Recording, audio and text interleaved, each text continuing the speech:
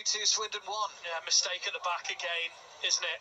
And it's what we've been saying. Don't give them anything.